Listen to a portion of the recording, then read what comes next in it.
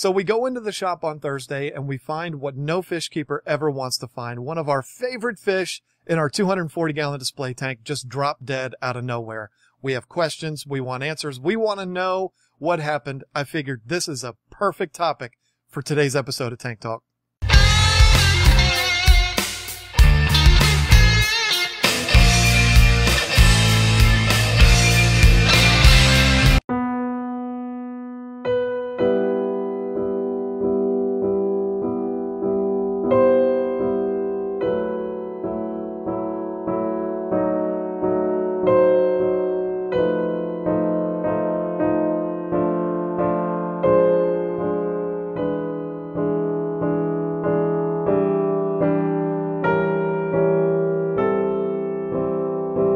Hey folks, it's John with KGTropicals.com. It's Sunday, November 9th, 2014. Welcome to this edition of Tank Talk. Sitting in front of the Angel tank that finally has angels in it. Really excited about that. I just finally brought them over last night. We also added three German Blue Rams and 12 Cardinal Tetras. Cardinal Tetras are one of my favorites. So really excited about that. You will be able to watch them grow like we're watching these guys grow.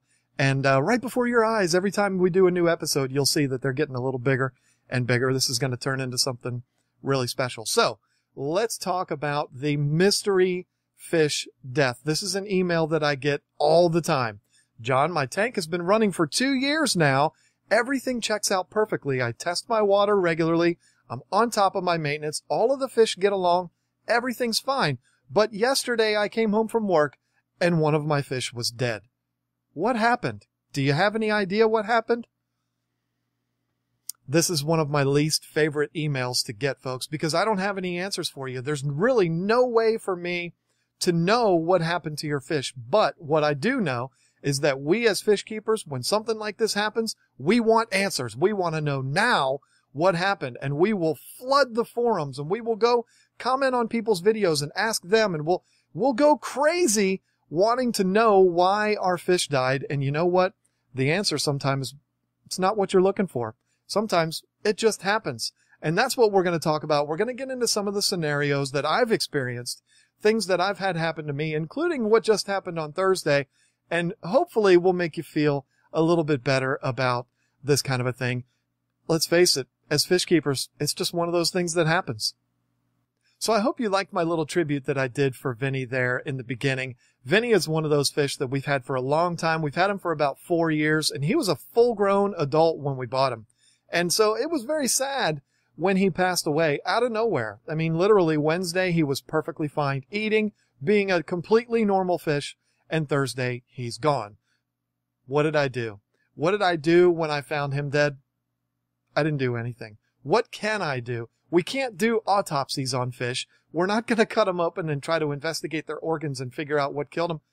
I don't know anybody that can do that. I don't know anybody who's ever done that. So there's nothing we can do about it. If we're checking our water and everything's fine, we're just going to have to say, eh, it's one of those things.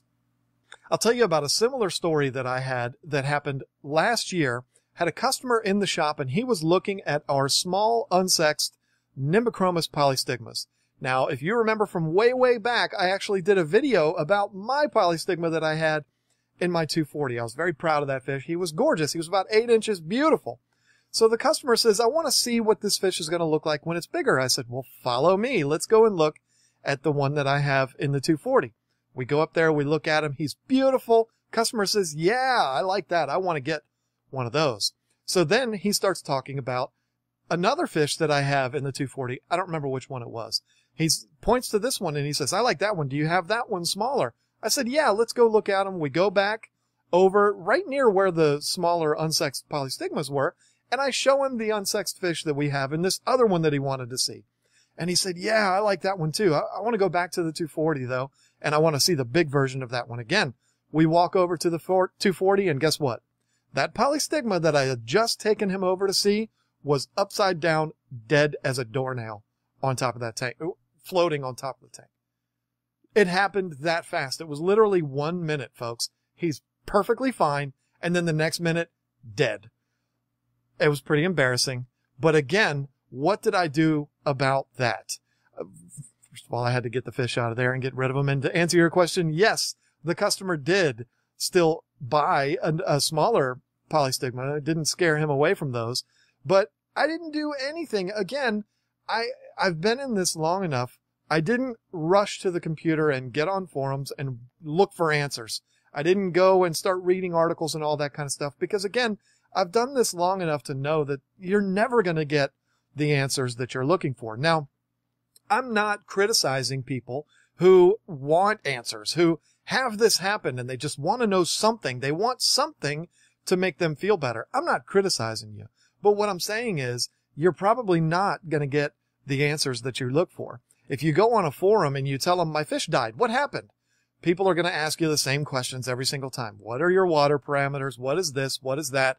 And they're never really going to be able to give you the answers. They're asking you these follow up questions because they want to help, but more than likely, they're not going to be able to do anything about it or help you to feel better. In the end, you're probably going to be told, eh, it happens. So there are a few things that you can check if this does happen to you. There's things that I want you to look for and things that I want you to check before you just come to the conclusion, ah, it just happens. I've told you on two different occasions that I didn't do anything after these fish died. And the reason why is because I know what's going on in my tank. I check it regularly. I check it all the time. I do big water changes twice a week. I know what's going on in my tank. So there's really no reason for me to do anything about it. However, I do have some things that I want you to check. I don't want you to just automatically say, oh, well, what are you going to do? There are some things to look for. First thing would be pretty obvious. Make sure that your equipment is running properly, including your heater, your air pump, your filtration, all of that good stuff. Make sure it's working because if one of those things has failed and that is what killed your first fish, you may have more to come. So you definitely want to make sure that everything is working properly. Next thing is going to be your water parameters, obviously. Pull out your test kit. If you don't have one, go buy one test for things like ammonia, nitrate, nitrites, you might have had a sudden spike that caused that fish to die. And again, there could be more to follow. So you want to make sure that those things are all in check. And then also think back of what was going on. Do, do you know of anything that was going on in your tank that may have stressed this fish out to a point where he had a heart attack and just dropped dead?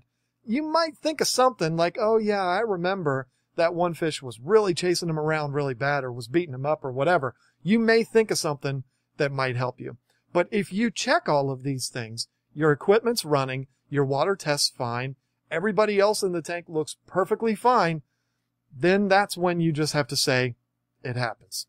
Now, another email that I get a lot, and I get, I just got one recently, which was another thing that kind of helped to spark this topic idea, was a customer that emailed and said, all of my fish were fine. We came home one day and the fish, one of our fish was dead, but I found, all I found was his skeleton. So do you think that it was the other fish that killed this fish? That, that uh, the aggression towards him is what ended up killing him and all of my fish are mean and they killed him. Do you think that that's what happened? Well, that's again another email that my answer is, I don't know. But here's the thing. I think a lot of people get confused because they find that carcass. They find the fish dead, and you never really find the fish dead and still looking perfect. You always find that fish is dead and the eyeballs are eaten out, the gills have been chewed on, they're missing scales all over, their fins are almost completely gone, and you automatically assume that it must have been the other fish in the tank. The other fish must have beaten this fish to death.